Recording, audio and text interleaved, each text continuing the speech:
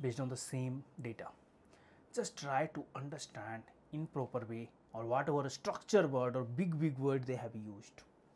Which of the following options if true due to here it is given in bold letter also will enable Satyendra take a decision that shall set a precedent which is least likely. What is least likely to be misused in the future? I think first time once we will read this question, we will not get anything. We will not able to able to get any but any uh, you can say proper idea what this question is telling. We must read second time. Which of the following options, if true, up to here we are very clear, will enable Satyendra take a decision that shall set a precedent which is least likely to be misused in the future, least likely to be misused, which of the data, which of the fact. Just will take, uh, just will read option A. Palni being new to the area uses auto rickshaws which are more expensive than personal motorcycles used by other collection officers. We'll hold on this because it is given uh, like a very contradiction.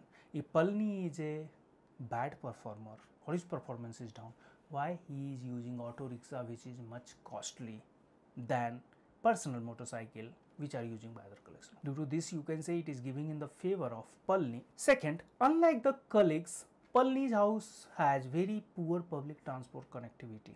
This cannot be. This cannot be. Unlike the colleagues, his colleagues, Palni's sales territory has a powerful competitor. This is also not related here based on the question I question asking least likely to be misused. Unlike his colleagues, Palni's customers can meet him only during weekends. This is also not impactful.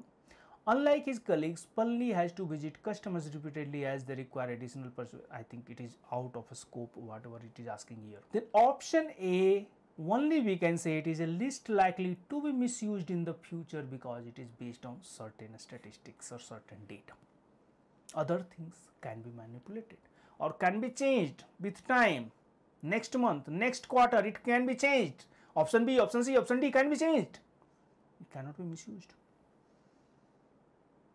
Least likely which one can be misused? This one. And this data in further can be represented in different way.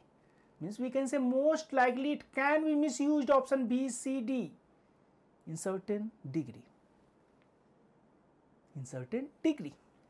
But option A least likely can be misused because this is very proven if you are going through auto rickshaw it will be more expensive than personal motorcycle. Then option A we will mark